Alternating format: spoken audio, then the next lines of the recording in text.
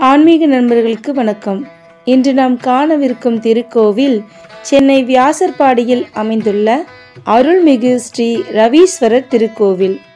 இக்கோவிலின் மூலவர் ரவீஸ்வரர் என்றும் உற்சவர் சோமாஸ்கந்தர் என்றும் அழைக்கப்படுகிறார்.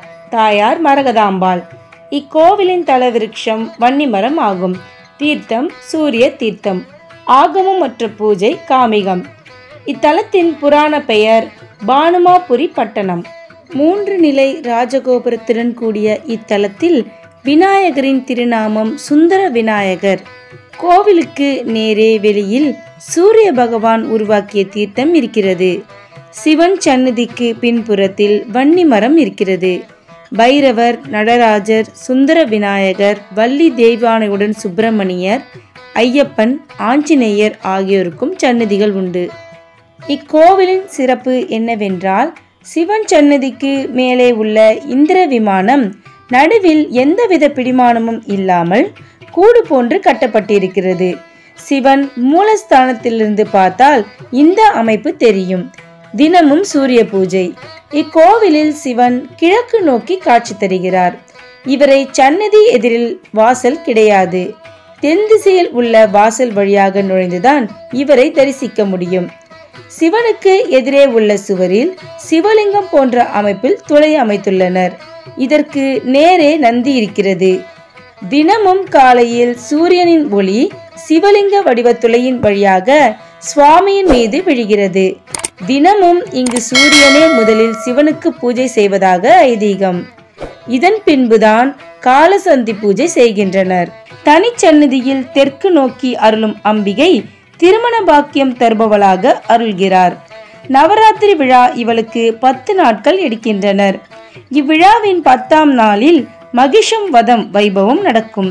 அப்பொழுது அம்பாள் சன்னதி எதிரில் ஒரு வாழை மரம் கட்டி அதில் வன்னி இலைகளையும் சேர்த்து கட்டிவிட்டு அம்பாள் சார்பாக வெட்டி விடுகின்றனர் இந்த வைபவம் இங்கு விசேஷமாக நடக்கும்.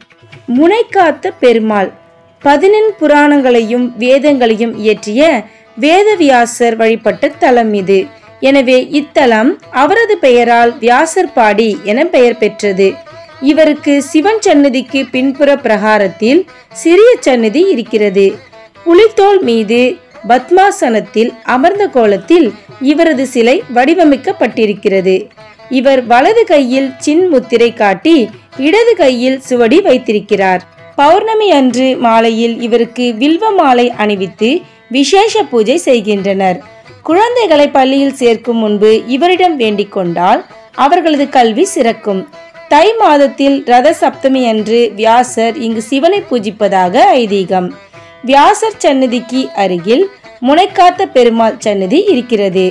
வேத வியாசர் மகாபாரத கதையை சொன்னபோது விநாயகர் தனது தந்தத்தை உடைத்து எழுதினார். அப்பொழுது தந்தத்தின் கூறிய முனை மழுங்கி விடாமல் இந்த பெருமாள் காத்தருளினாராம்.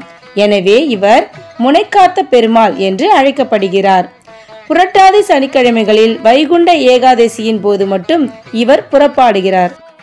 இங்குள்ள பிரார்த்தனை என்னவென்றால் அறியாமல் செய்த பாவம் நீங்க சிவனிடமும் அறிவு கூர்மையான குழந்தைகள் பிறக்க முனைக்காத்த பெருமாளிடமும் கல்வி கலைகளில் சிறந்து திகழ வேத வியாசரிடமும் வேண்டிக் கொள்கிறார்கள். நீண்ட நாட்களாக திருமணமாகாத பெண்கள் இங்குள்ள அம்பாளிடம் வேண்டிக்கொள்ள அப்பாக்கியம் கிடைப்பதாக நம்பிக்கை. சிவன் சன்னதிக்கு பின்புறத்தில் வன்னி மரம் இருக்கிறது.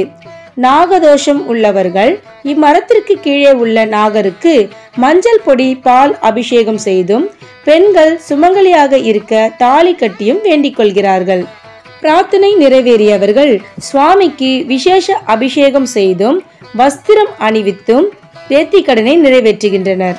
இக்கோவிலின் திருவிழாக்கள் ஆணியில் பத்து நாட்கள் பிரம்மோற்சவம் கந்த சஷ்டி மகா சங்கராந்தி மாசி மகம் பங்குனி உத்திரம் ஆகியவை இக்கோவில் திருவிழாக்களாக கொண்டாடப்படுகின்றன. பக்தர்கள் அனைவரும் இத்திருத்தலத்திற்கு சென்று ரவீஸ்வரரை வழிபட்டு வாழ்வில் எல்லா வளமும் பெற அன்புடன் வேண்டுகிறோம்.